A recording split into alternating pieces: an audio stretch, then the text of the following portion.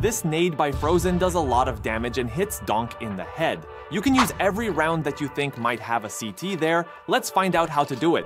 Stuck right here. Aim as I shown and jump throw.